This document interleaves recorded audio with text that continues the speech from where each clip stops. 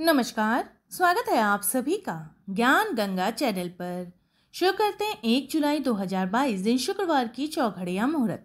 लेकिन वीडियो शुरू करने से पहले, अगर आप मेरे चैनल पर नए हैं और अभी तक आपने इसे सब्सक्राइब नहीं किया है तो प्रतिदिन चौघड़िया मुहूर्त की जानकारी प्राप्त करने के लिए आज ही मेरे चैनल को सब्सक्राइब कर लीजिए।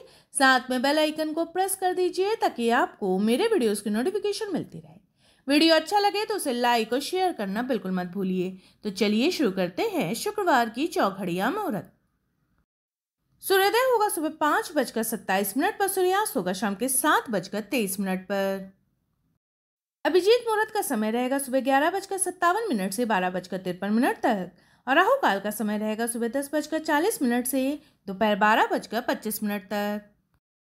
दिन की चौघड़ियों के शुभ मुहूर्त इस प्रकार रहेंगे। चर चौघड़ियों का समय रहेगा सुबह पाँच बजकर सत्ताईस मिनट से सात बजकर ग्यारह मिनट तक। लाभ चौघड़ियों का समय रहेगा सुबह सात बजकर ग्यारह मिनट से आठ बजकर छप्पन मिनट तक। अमृत चौघड़ियों का समय रहेगा सुबह आठ बजकर छप्पन मिनट से दस बजकर चालीस मिनट तक। अमृत चौघड़ियों के समय सभी प्रकार के शुभ एवं मांगलिक कार्य किए जा सकते हैं। लेकिन इस समय वारवेला भी लग रही है और वारवेला के समय किए गए शुभ एवं मांगलिक कार्य फलदायी नहीं रहते, इसलिए इस मुहूर्त को त्यागना ही उचित है। शुभ चौगड़ियों का समय रहेगा दोपहर बारह बजकर पच्चीस मिनट से दो बजकर नौ मिनट तक और चर चौगड़ियों का समय रहेगा शाम के पाँच बजकर उनतालीस मिनट से सात बजकर तेईस मिनट तक। रात की चौघड़ियों के शुभ मुहूर्त इस प्रकार रहेंगे। लाभ चौघड़ियों का समय रहेगा रात के नौ बजकर छप्पन मिनट से ग्यारह बजकर दस मिनट तक।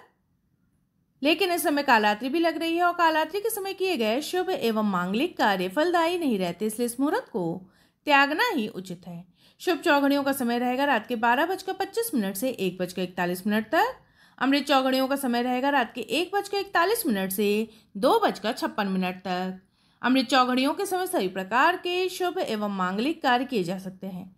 चर चौघड़ियों का समय रहेगा रात के दो बजकर छप्पन मिनट से बारह जुलाई की सुबह चार बजकर बारह मिनट तक। तो ये थी जानकारी। शुक्रवार के चौघड़िया मुहूर्त की।